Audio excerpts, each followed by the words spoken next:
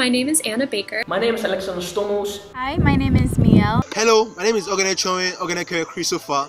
My name is Olivia Rees. My name is Laura Johnson. My name is Guyan Brenna. I'm an Italian marine biologist. And I'm a researcher at the Stockholm Resilience Center. I'm a mechanical engineering student. Science journalist. I'm a research assistant. Marine biologist. I'm the assistant director of maritime studies. And I'm a psychologist with formation in marketing. Today's youth and the generations that come after will inherit the catastrophic consequences of uh, climate change, of rising ocean levels, affecting the biodiversity. And it's time for young people to be the ones who say, we want a different model of development and we want something that we think is sustainable because for us it's, it's really not about now, but also about the future.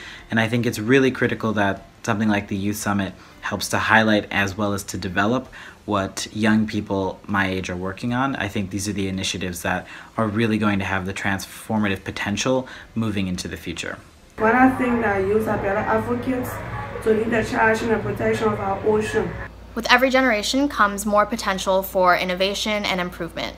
We've grown up with global warming and climate change looming over our heads, so we know it's at stake. Use our collective voices, use our knowledge, use our power to be the change that we want to see. We all contributed to this mess, and we all need to fix it together.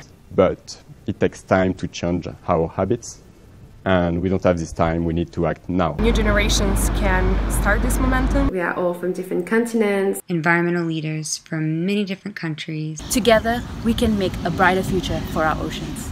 If you care about something, you want to protect it. The ocean is essential for all life on Earth, and it is, after all, the Earth's blue heart.